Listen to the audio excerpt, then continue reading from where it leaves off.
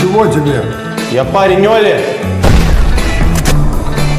Я хочу, чтобы ты убил для меня человека. Отец. Ты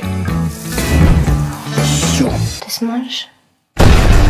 Но вы должны понимать, что если дело выгорит, а ячейка окажется пустой, и у вашего сына и у вас начнутся серьезные проблемы. Вы случайно не дочь Андрея Геннадьевича? Да. Вы сразу-то не сказали?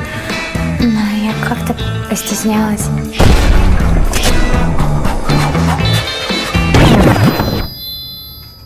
Ты все время с ним ходишь?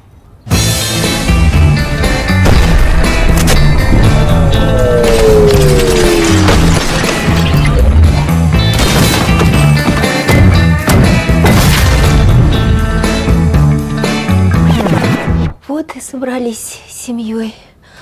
Любимые мои, родные.